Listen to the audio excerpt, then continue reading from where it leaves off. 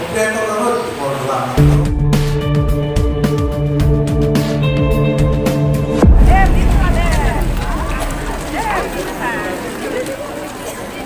Dati, i-report at dati timapay. So, congratulations to me. Here, beautiful churches, beautiful rectors, you know, and beautiful school that we have. So again, congratulations.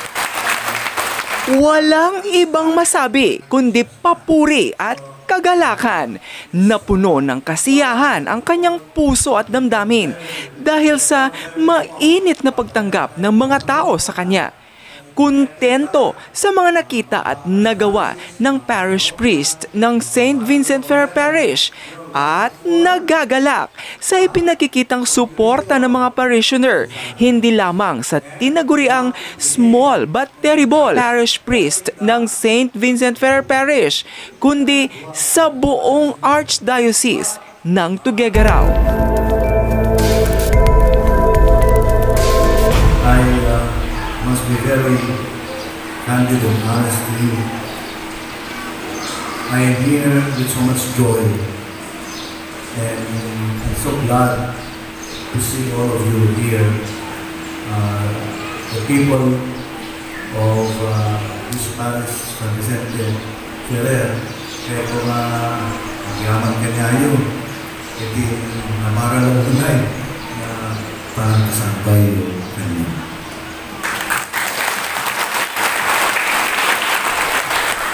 Uh, the way you receive me is so touching and so I feel so blessed. But I thought I came here to bring the, the joy that comes from the church, the love of the church for you, and especially that of the Holy Father. Santo Papa namin, di uh, uh, nambaon ka na akas aso this po yung as diocese to the ground. So I bring not my own love, but that of the Father, Pope Francis, who is also the vicar of Christ.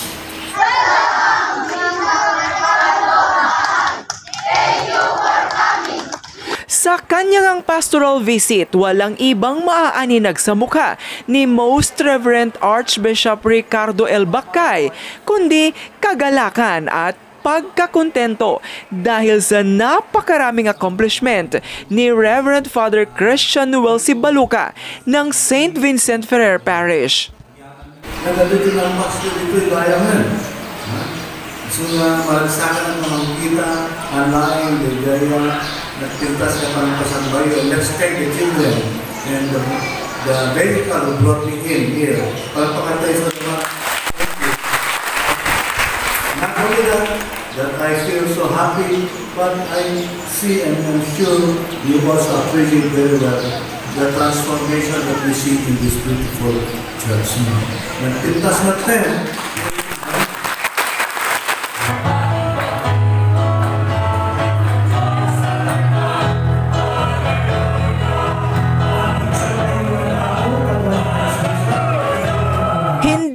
nakalimutang batiin at pasalamatan ang butihing alkalde ng bayan, Honorable El Pijo Reyes Rendon. This visit, as you all know already, is called pastoral visit. Pero ano nga ba ang pastoral visit at bakit niya ito ginagawa? Sabay kuma, nga ti kadami dito, iti pagbisita ni, kanyayo, kita matiparik namin na ti ayat ni kanyayo. Ang tulen na kita nyo, ito na iti pagbisita ti sa Bispo kanyayo, ti ayat tulen nga mangtumpal ti rebengko akas uh, asa Bispo yun, ito yung Archdiocese of Tuligrao. Yun ang kitain mo o awaten akas uh, ito yung pagbisita ti pastor. Yan, pagbisita ti ama. Pagbisita ti ama ti anak na. Pagbisita ti sabi po iti amin na nabunyaga. May sa dahito ya gundaway tatlong mapaligta ti kinakaget yun. Tatlong mapaligsa, hindi pakipartisipar yun. Hindi pakipaset yun. iti biyak, iti simbahan. Ket uh, iti uh, ayat yung uh, makiralo, ken maki uh, uh, kadua, iti misyon, hanlaing iti olispo, hanlaing iti padi, ken misyon iti misa nga nabunyanan. If I can inspire you to continue to work, continue to do what you are doing, that will be a motivation for me already to be happy as a father. This pastoral visit desires to inspire each one and rekindle the gift which we receive from God during this uh, season of Easter, which is the message of hope and love. Uh, Pag-uusap tayo ngayon, pinang naman uh, rumangay, uh, magtignay, iti panagtalit, mangpalaing, karigil sugat mo da, ken sakit tinakin mo da. Dito nga pagbisita ko makin, mangi rasaas ko na patawan pa rin. Kanya ring binigyang diin ang mensahe niya sa bawat parishioner na ayon sa kanya ay isang pangarap. When yung rasaas man, tulungan ka pang ipada, God loves you. That is the message of the Archbishop of the. That is our dream. Dito tayo. Importante ito parokya na darapaak mo.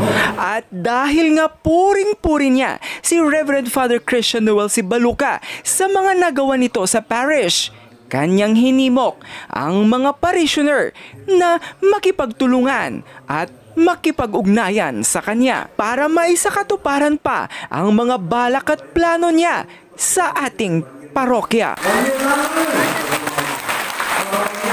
Kaya ito nga iparamit ka niya na tulungan ko sunan tapos magpas na ituwan niyo.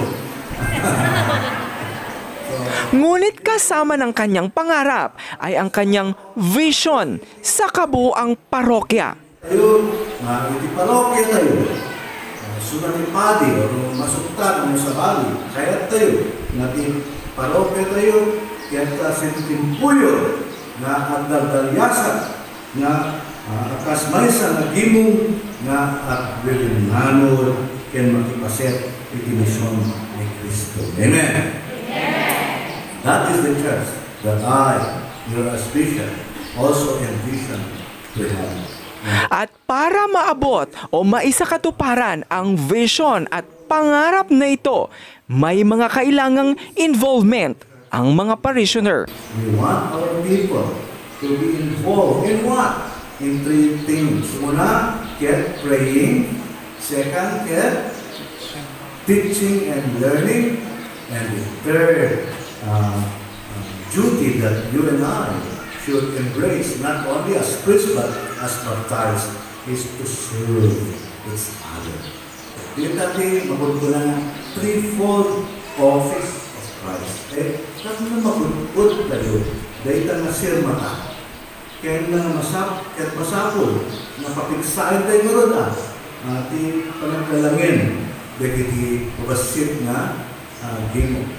At ang pinakamahalagang sangkap para makamit ang pangarap na ito, pamilya. to focus on family. Beautiful picture. And that is the picture I would like you to have. That that family should always be strong in welcoming your own uh, members of the family and make them strong. Mapigsahan, mapagkikaran niyo. Iti pagmati ba? Tapnuhan ng maligatan ng samo. Iti yung problema nga uh, maalaga. Iti sa gabunan. At kahit na mahirap ang bilin niya sa mga parishioner, we should learn how to listen to one another. And what is more important is in the synodal church, we should learn to become brothers and sisters. Let us learn to become friends. And let us avoid becoming enemies. Us build not only our beautiful parish church, but the church at home. For some, love begins in the parish. No? They, they leave the home, they come to the parish. I tell you now, for those who are doing that, they back to your home and do it there. hanggang sa susunod na makabuluhang kwentuhan, ako pong muli ang inyong kauso, kauso mo, Migo Sagibo. Kaya nakaalat na pa yung pinapintas na siya. Sa nakita na yung uh, thank you very much Mother no uh, Kansad. Uh, ngayon uray ko man ang paulos ng sumpa